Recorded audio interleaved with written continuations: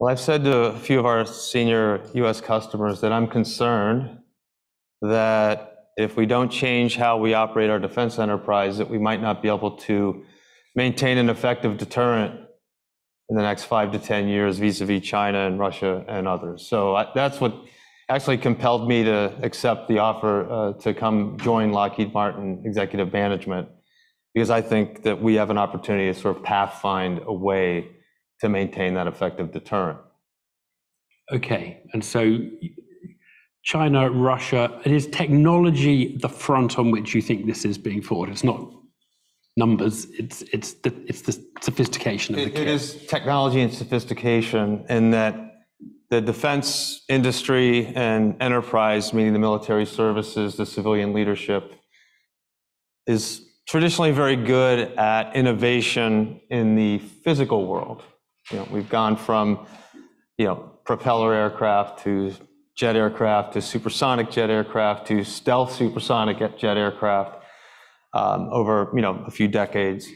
Uh, what we're not as adept at yet is innovation in the digital world, which is largely largely based on software.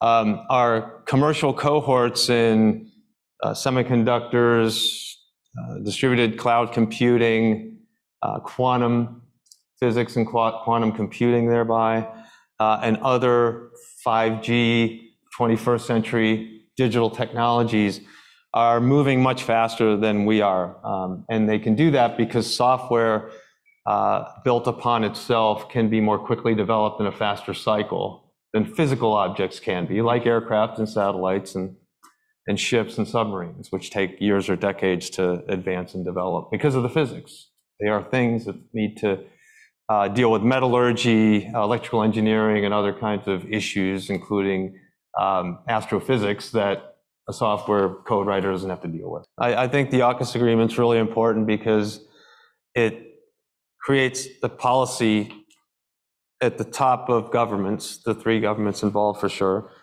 that we are going to cooperate on security affairs closer than perhaps ever before since World War II Uh, together. Now, that should open up a lot of avenues for the thing we just talked about. What is the collaboration scheme that makes the most sense based on capabilities, resources, etc.? So I'm very encouraged by that.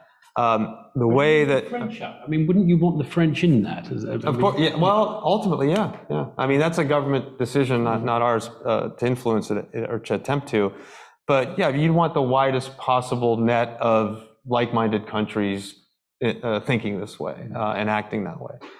Um, what I am hoping to do with Lockheed Martin, at least in our case, is to continue the existing practice, which is we will be involved in a campaign to sell a product or system to a country. That country will ask us, well, if I'm going to buy this from you, then we would like some industrial investment along with that product sale. That's called offset uh, or industrial uh, collaboration. We should be doing what we talked about earlier, which is what can we do in the UAE, for example, that would make sense in general, whether we're selling that product or not? What should we do in the U.K. in general, whether we're selling a product or not?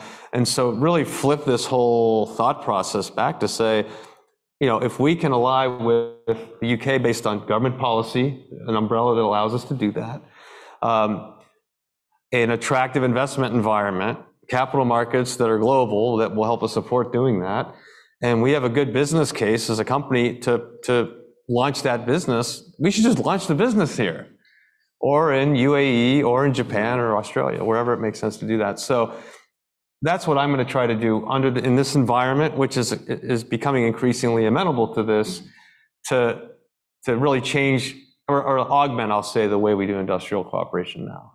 The F-35, which is kind of our sort of signature program right now uh, in the company, it's about you know between, depending on what you're counting, 25 and 30% of the revenue of the entire company. Um, say that again. The F-35 is what? 25%-30% of the entire revenue stream of the company. But do you not look at that and think, is that a burden to carry? Because no one does anybody look at it and think, this is how you should do it? This is how you should create a strike fighter? Is it is that?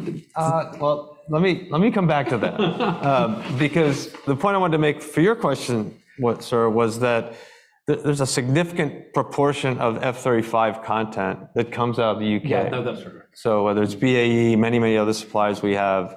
So we're very integrated on that program too. So, you know, aerospace, oh, by the way, submarines, we do combat systems, BAE can do the hull- the hulls. You know, There's a lot of integration and and collaboration here and room for more in those areas and others. So yeah, I'm, I'm very encouraged.